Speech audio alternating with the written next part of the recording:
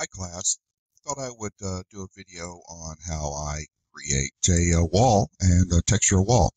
So the way I build a wall is a lot of people build it from boxes and stuff, and it's not the, like sometimes I don't do that, but normally I build it from a rectangle, so I build from splines. So we're going to start off here with a rectangle, and let's set our size in here. So let's say that maybe this is about I don't know, maybe about a 20 foot uh, wall by, say, oh, let's go 10 feet. So 10 feet, and then I'm just going to drop it down, and then slide it up. And so it's sitting on the ground right there. Okay, so it's 10 foot tall, 20 feet long. Uh, let's make it a little bit longer. Let's go 22 feet. Okay. Uh, I'm going to cut some windows in here. So to do that, I'm going to make some little rectangles uh, for our window. And so we'll say a little window like that. I'm going to clone this over and just hold down my shift key as I drag it over. I want to be copy. And then we're going to do the same thing again. And uh,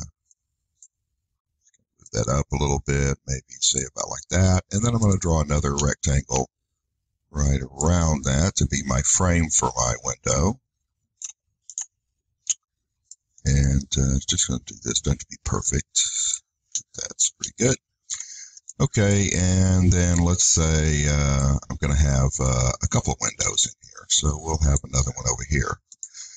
Now, because I'm doing this uh, as a spline, then I'm going to want to double uh, these here. I need two of these, so I'm just going to clone those. Okay, just copies. And then grab this, and then I'm going to hide those inside pieces. Okay, so now I can take this piece, uh, go ahead and convert this to a spline, and then I can attach these pieces to it. Okay, and then pull that in and I can put an extrude onto that to actually give me some thickness to my wall. So we'll just do an extrude and uh, we're going to do it.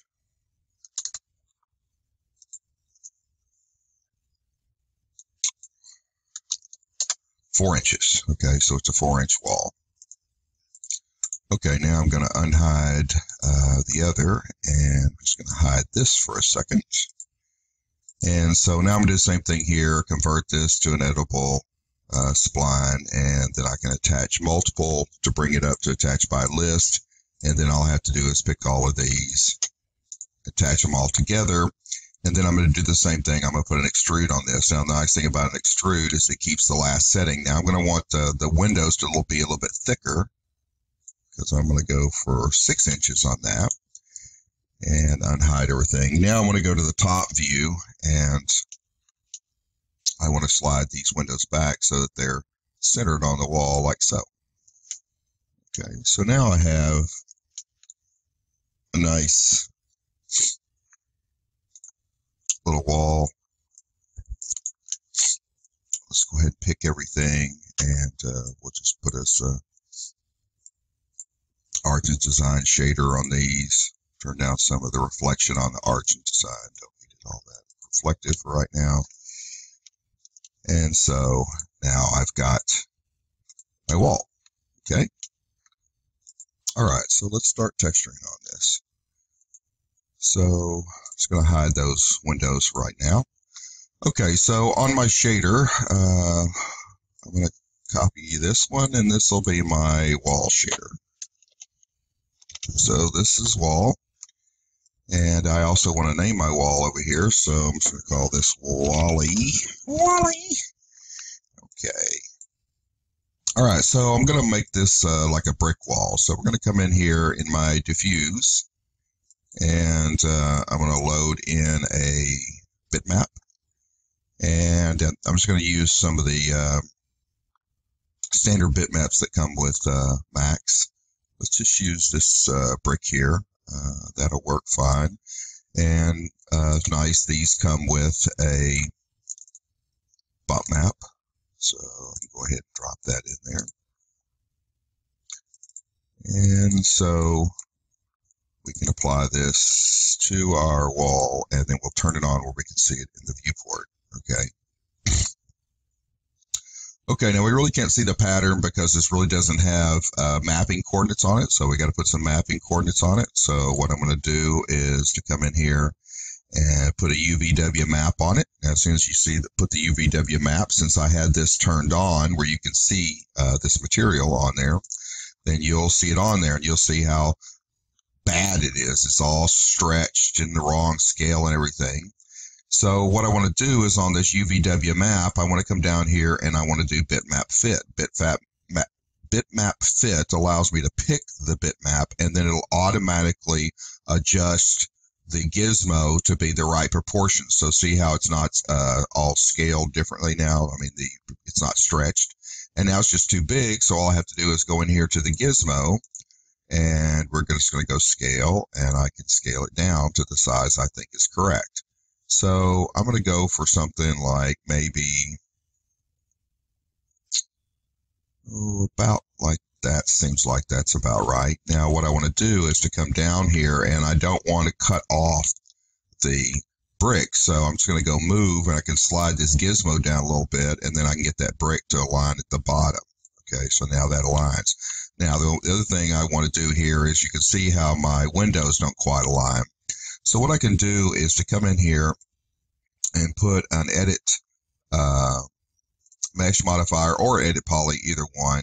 I need it to be below the gizmo. And now I can come in here and I can select these vertices. Now, if I drag it now, you'll be able to see that I'm dragging it underneath the, the mapping coordinate. So I'm just sliding it down and I can align that up to perfectly match there and I want it to match up here too so it's not cutting down the middle of the brick. So there we go. And then the top too, I want to adjust the top. See how we're cutting through a piece of brick there. So let's pull that down so that that all matches up and then that looks nice. Okay. So now there's a nice uh, brick wall and what we're going to do now is I'm going to I'm going to render this out and I'm going to take it into uh, Photoshop and we're going to age it. Okay. Now to do that, what I want to do is come in here and put another uh, mapping coordinate on it. Okay. So I'm just going to go ahead and just copy this one and paste it back on. Now this one I'm going to make it on mapping channel two. Okay. So what I normally do on this is I'll look at uh, the coordinate itself and you take the uh, longest length, okay, and we're going to, okay, before I do this, I need to click uh, fit so it fits onto my wall, okay, and you may not be able to see that. Uh, if I turn into a wireframe, and you'll see I copied this. Since I copied it, it didn't snap to the, it copied the same coordinates it was. If I put a new one on, it would snap to it. But all I got to do is hit to fit and it'll snap to it. So I take the longest edge, which is this one, and actually I'm going to make it a little bit wider like that. So I have a little bit of an edge on here. Now I'm just going to copy this and I'm going to paste it in here. The reason I'm going to do this is this mapping coordinate needs to be square. Okay, because it's, we're going to take it inside the UV Unwrap. So there is the square that's inside UV Unwrap. So I can go to my gizmo here and I can slide this straight up. And basically what I'm doing is that's the bottom of my UV-Unwrap. I don't need to do an UV-Unwrap on this. I'm going to put a UV-Unwrap on it just so that you can see uh, what I'm talking about. So we're going to go on top of here and we're going to put a UV-Unwrap on this. Now, if I go into the UV-Unwrap right now, you won't see it in here. And the reason is, is because this mapping coordinate was on gizmo uh, number two, it was on coordinate number two, and UVW by default goes to one. So I'm going to change this to two. Now, when you do this, this little window will pop up and it says, do you want to move or you want to abandon? Okay. Move means we want to copy from one to two, and I don't want to do that. I'm just going to hit abandon, which means that I just want to do, uh, want to use this coordinate that's in there. so now when I open this up, you'll see there it is. There's my mapping coordinate, which is the same as that square I had put on there. So it's that. So I don't really need to do a UV unwrap because I'm just doing a planar map in here.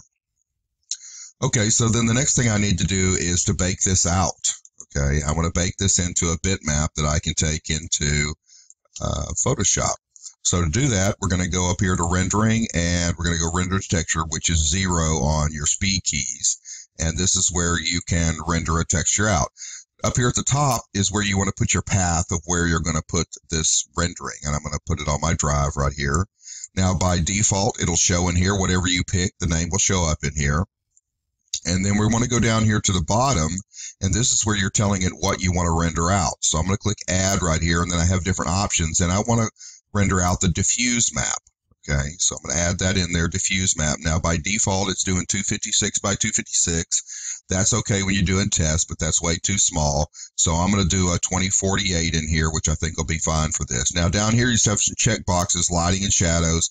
I don't want any lighting and shadows on my stuff. I just want it to be the diffuse map because I don't want to bake any lighting and shadows into it. Sometimes I do, but in this case, I don't. Now, you have to go up here where it says existing channel or it'll say use automatic unwrap. Okay, I don't want to automatically unwrap this. I've already un- I've already got a mapping coordinate on it, and it can see I've got mapping quarters, but it doesn't know which ones I want to use, and I want to use that number two. Okay, this one we can see that's the coordinate I want to use. So at this point, then I just hit render, and it's going to start rendering this out.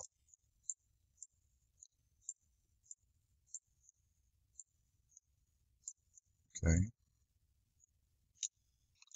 And I'm going to uh, pause this while it's uh, renderings. Okay, now that the rendering's done, uh, we can see it here. But one of the things I want you to notice, and this throws people off, is that uh, this is not just the diffuse. This one that it's showing you here, this display, is actually has lighting in it. So what we want to do is to go over here to our uh, rendering and go to uh, view image file. And if we go over to where I rendered this and we pull it up, this is the final rendered one. You can see there's no lighting in it. Okay. It's just the diffuse by itself. Okay. So let's go over and open this in Photoshop. Okay. So here it is opened in Photoshop and it's pretty good resolution. Here it is at full scale. Okay. So you can see it's plenty of pixels to, you know, hold what we're wanting to hold in this. Okay. So, so the next thing that we're going to need to do is I'm going to want to uh, age this and stain it. Okay. So it's not just seems like this uh, tileable texture on here. So what I'm going to do is go over, uh, do a search over on Google. And the things I initially start with is do a search for concrete. Now I'm not going to I'm going to be using this as a stain on the surface. So I really don't want big cracks like this, something like that. I want a kind of a generalized stain, something like this one. Now I always come in here and go to my search tools and make sure I'm only getting large images. And then I have all these to choose from. Okay. This has kind of got a nice stain to it. That's got a nice stain to it. I don't want something with big chunks on it like that that's going to make our object look small. Okay. So you have to watch what you choose. So I've gone over here and grabbed some things. I like this. Uh, this is nice kind of stain in here. Uh, this has got a nice stain pattern to it. Then I also do the same thing with rust. Okay, I'll come in here and do a search for some rust, and I'm looking for you know, not big chunky things like this. I'm looking for more generalized pattern. So something like this. Now this is a little fuzzy. It's not very good resolution, but the way I'm going to be using it, it's fine because it's just going to be a stain. Uh, here's another one. Now these are kind of big chunkies, but I'm going to scale these down and use these just kind of sparingly. Uh, here's another one with some nice kind of uh, very uh, difference in you know the way that it's got um, the striations and stuff in it. And then I also gone over and got a few uh, drips. Okay, and uh, here's another one drippy. And so um, a variety of different images that I can use. Okay, so we'll just come in here and uh, let's start with this one. So I'm just going to copy this. Okay, and then I'm just going to go in here and paste it uh, in Photoshop. And you'll see it's uh, kind of big which is fine. So now I need to scale it down. Now, the thing about it is, is that um, you can really ruin your textures really quick if you don't get your scale right. And this scale is really way too big for my object, but because of the way I'm going to use it as a stain, you really won't be able to tell. So I've gone ahead and scaled it so that the, the height is correct, and then I need some more on the width. So I'm just going to hold down my uh, Alt and Shift and drag this over. And then what I'm going to do is, I think in this one, I'll just go ahead and flip this horizontally, and then that'll work fine. Kind of drift it over the top, kind of like that, and use an um, alpha mask on this and then I can just come in and paint. And, and I want to turn my opacity down and soften this brush up and just kind of soften this edge here. It, I don't have to worry about it too much because it's just going to be a stain, so I won't see it much in here. And so just get rid of that seam a little bit and that's fine. And then just flatten those layers. Control E flattens your layers. Now, our blending mode is what's going to blend this together. So I just kind of drift through here and go through my blending modes and see how I want to drop this on. Okay. And sometimes I want it to make it lighter. Sometimes I want to make it darker. There's just different ways. So for this one, I'm going to go for this overlay. See how that's kind of staining the surface? Okay. It's a little too much. I'm going to back it off a little bit. Okay. That looks pretty good. Now, what you're trying to do is, you know, slowly build up the surface uh, texture to it. Now, also one of the things I notice when I do this a lot of time, the saturation starts getting a little high, but I'll just desaturate it later. But see how that's adding that pattern onto there, which is really kind of nice. Okay, so let's go over and get one of the other ones. Uh, let's get, um, let's get this one.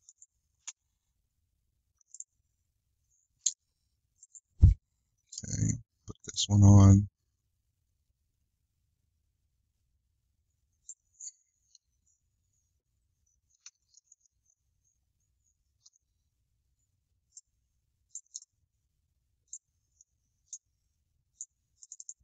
Okay, copy that. And I'm going to copy it again. Okay, I'm going to put a, a, layer mask on this one and then do the same thing, uh, kind of paint out some of this. Okay, and it's got kind of a repeating uh, pattern that's happening in this, but to a certain degree, I don't care because I'm not only going to be using it for certain parts, and so you won't notice that. Okay, now that I have this together like that, then what I'm going to do is um,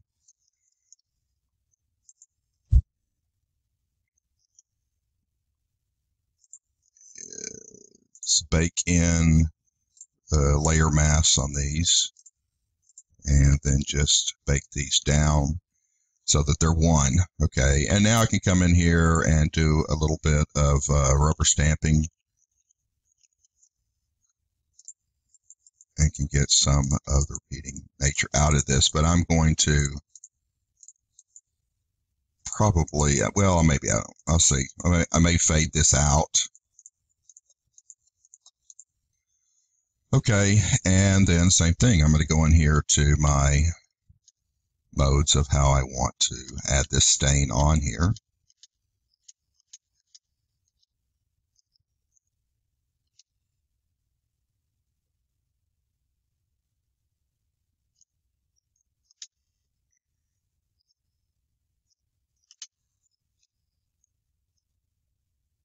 I think I'm going to go for this right here and then turn that down. And then that's added some nice stains up there at the top. Okay, and um, let's go get some others. Okay, let's go over here to, um, I think, let's get this one. Okay, so let's paste this in And I don't need this bottom part, so I can get rid of that. And then we'll just scale this.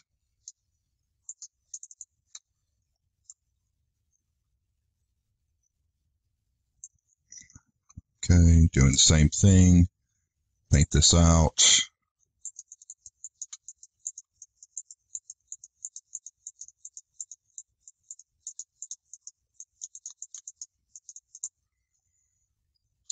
Okay, I can merge those together.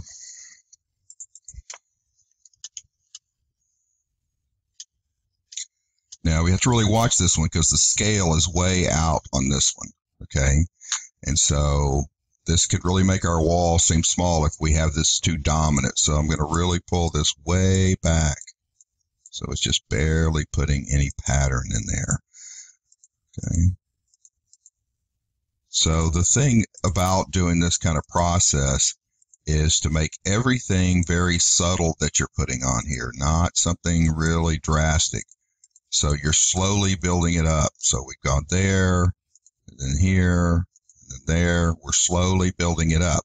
Now, at a certain point, when I get it what I want, I can actually copy this whole thing. So select the whole thing, copy, merged, and paste it back on top. And so I've kind of baked all that in. And so it's getting a little saturated right now. So I'm just going to go ahead and desaturate this a little bit.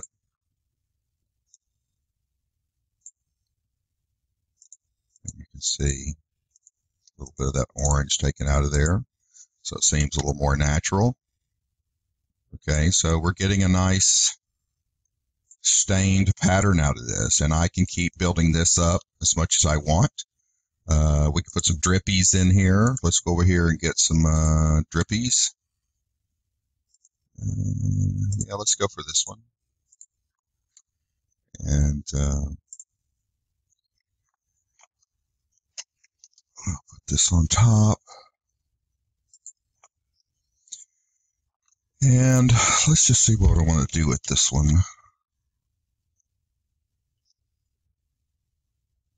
See, actually, I think what I want is in, to invert this. Oh, I don't know. That's pretty nice right there.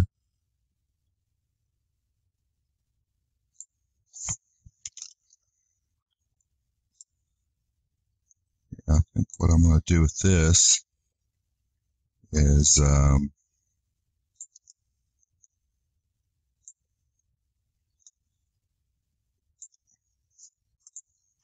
paint that out. So let's go back to normal. Normal. Let's uh, paint out this mask here.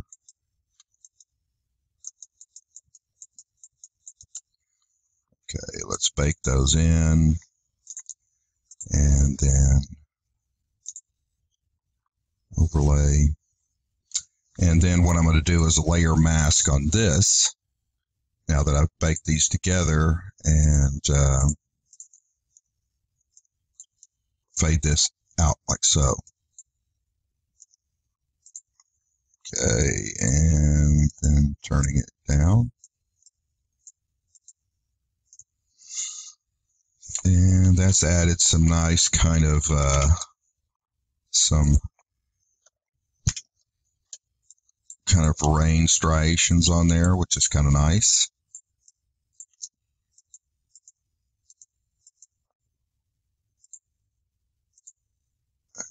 Little too bold on there. There we go.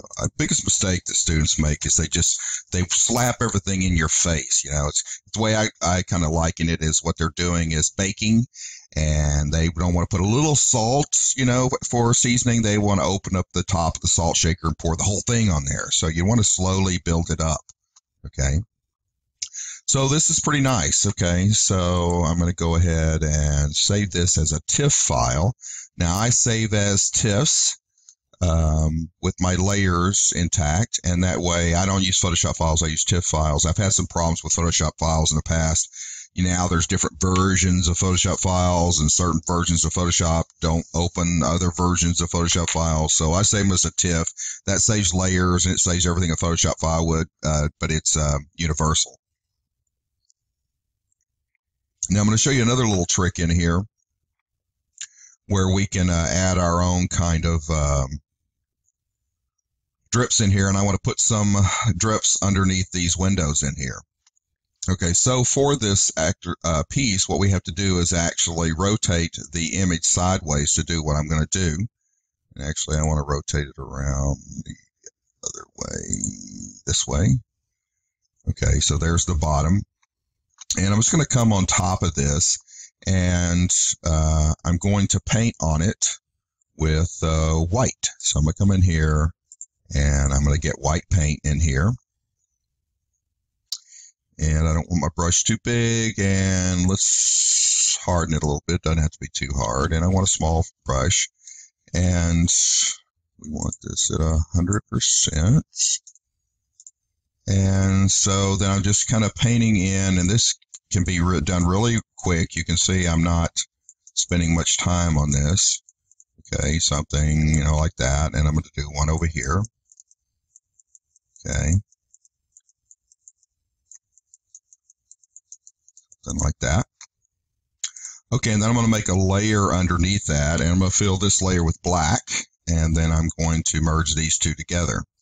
So basically I have white on a black layer. So I'm going to go up here to filter and I'm going to come down to um, stylize and go to wind. And let me pull over where you can see this. Go. And I want to wind from left to right and I'm going to click OK. And then I'm going to wind it again and I'm going to wind it again. Okay, and I'm going to get these kind of little kind of streaks in here. Okay, and that works fine for what I need. And so now I'm going to come around and rotate it back. Okay, rotate it back up. So that's clockwise. And then what I'm going to do is I'm going to select this and I'm going to copy it. And I'm going to paste it on a new channel.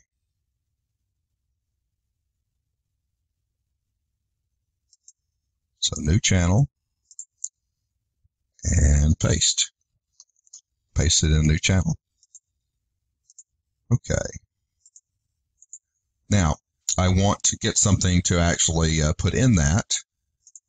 So what we're going to do is to come into our Rust. Let's go back over to um, we'll go with this one. So I'm going to copy this and I'm going to paste on here.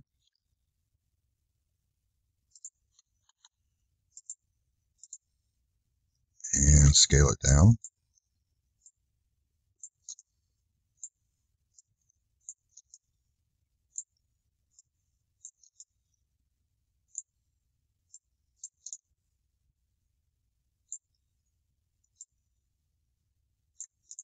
And same thing, copy this over. And I don't think I need to uh, paint this one out, so I'm just going to merge these together. Okay, now what I'm going to do is I'm going to um, copy this. Okay, so what I'm going to do is just hold down my control key and then click on this icon right here, and I'm going to copy this. Okay, so uh, now what I'm going to do is to make a transparent layer. And Here's the trick. You got to make a transparent layer, no, nothing on it. Now I'm going to go to channels. Now if I hold down my control key and I click on this icon, it's going to do a soft selection of those areas, a perfect soft selection. And now I'm going to go edit, uh, paste special, paste into, and it's going to paste this piece that I did into those areas. Okay. And I can actually, since these aren't locked together, I can come in here and I can grab this piece and I can slide this around to get whatever I want into those areas. Okay. And let's say maybe something like that. And then I can lock these together. Okay. And so now I want to go in here with my transformation modes until I get something that I want. Okay. And I'm going to move this up just a hair.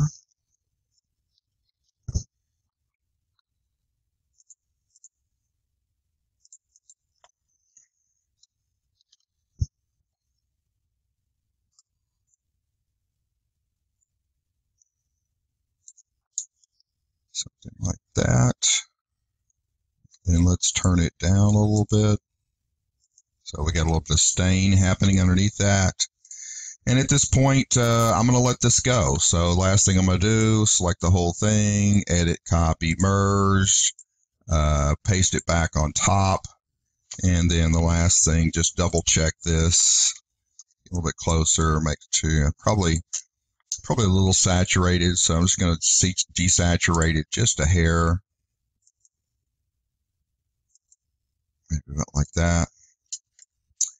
And now that texture is pretty much the way I want it. Okay, so it's pretty nice texture. So now I'm going to save this out. Okay, now I use my textures as Targa files. Okay, here's the original. I don't want to overwrite that one, so I'm just going to call this one aged. I uh, don't need 20, 32, we just need 24. Okay, so now we can go back over here to uh, Max. And so we're going to come into our material editor here. And I'm just going to um, unplug this one. And then, as a matter of fact, I'll just hold on my shift and copy that node. And then we're just going to replace this with that map. Okay. And show that on here, show on our Arch & Design.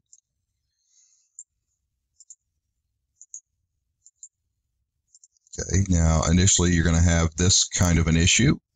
And what's going on is by default, this is using channel one and we wanting it to use channel two. So we need to make sure that we choose channel two and then it'll line back up. And now there it is. I've got a nice aged uh, wall, okay, uh, based on my original piece. And so the thing that we're that I'm showing you here is how to use a tileable texture to initially get the pattern that you want on there. And this is a um, a concrete, I mean, not concrete, but a brick wall, but this could have been wallpaper, whatever.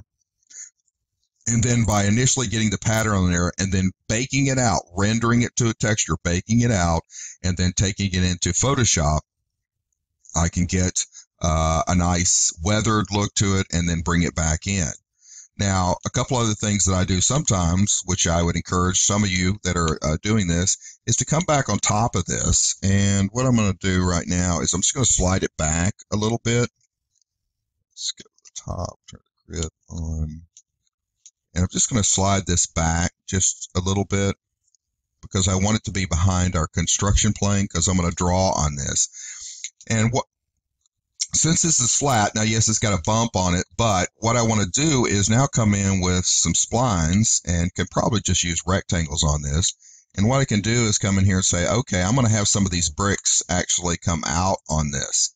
And so I'm just going to draw a rectangle and I'm going to pick certain bricks and say, okay, I'm going to have these actually three dimensional coming out off of the surface. Now, when you do this, you don't want to, you know, do it, um, in some kind of a mechanical way. You want it to seem like clusters. And so there are certain areas of the bricks that are coming out, other areas of the bricks that are not coming out. And so, and it's probably an advantage if I change these to a light color right now while I'm doing this. So it's easier to see them. And so I'll go across the whole surface and I'm picking out certain uh, areas. Let's shapes, pick these, make all of them light so it's easy for us to see them. And so I'm picking some particular ones, okay, and I would do this across the whole surface. Okay, so now I'm going to pick one of these, okay, and we can convert it to an editable spline and then I'm going to attach the others to it. I was going to go attach by multiple the list, and then it'll list all these splines that I just made and attach them all together. Okay, once I have them attached together, then I can just convert that to an editable poly, and they'll be solid objects. Okay. Now, uh, the thing I want to do now is to give them a little bit of uh, depth, so we can put a shell modifier on these and I don't need that much depth. Just a little bit like so. Okay, I'm going to convert that to an editable poly. And then I'm going to come in here and I'm going to pick these front surfaces. And then I'm going to put a bevel on those. Now you'll just want to zero both of these bevels out. Okay, so this is how much bevel, just a little bit, and then just out just a little bit so that it'll catch a highlight on that surface. Okay, now I just need to slide these back in up to the wall. So it's just right up next to the wall like so. And now what I want to do is to come in here and grab this mapping coordinate and paste it on this. Okay. Now it'll offset it. So in other words, see how it offset that? So what I want to do is go down here and hit this acquire button and then click back on the wall and I tell it I want an absolute. So in other words, it's going to absolutely copy that coordinate and put it on here so that these coordinates line up with each other. Now, when I go back and I put this material on it, okay, then they will disappear, okay. But when you light this and render it, then you'll be able to see that those bricks, you'll get a little bit of stretching on there, but really when you light it, you really won't see that. So I don't have to worry about unwrapping those and that'll add a little bit of depth to your wall where you'll get some little bit of shadowing in there so it won't seem so flat. Okay, so that's uh, texturing a wall 101, and uh, that's how I do it. So thank you very much.